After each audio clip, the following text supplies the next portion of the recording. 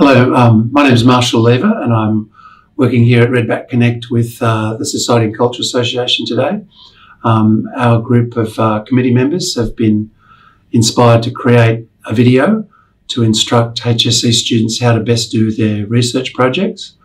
And we were really um, taken with uh, Redback. They do a lot of our webcasting of our um, big events, but we saw their studios and we thought this would be a different and meaningful way to communicate with our um, client base, uh, with our students and our teachers to be able to create a story that we could share um, that um, teachers can use in the classroom, students can log on online and um, get good advice on how to uh, do their HSC research project the best they can.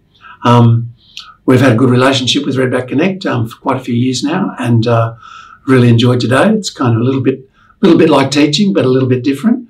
And um, talking to a camera is a little bit different from talking to a classroom, but uh, staff here have been really supportive, really friendly.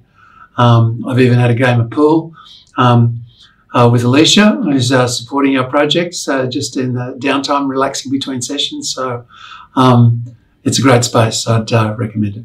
Uh.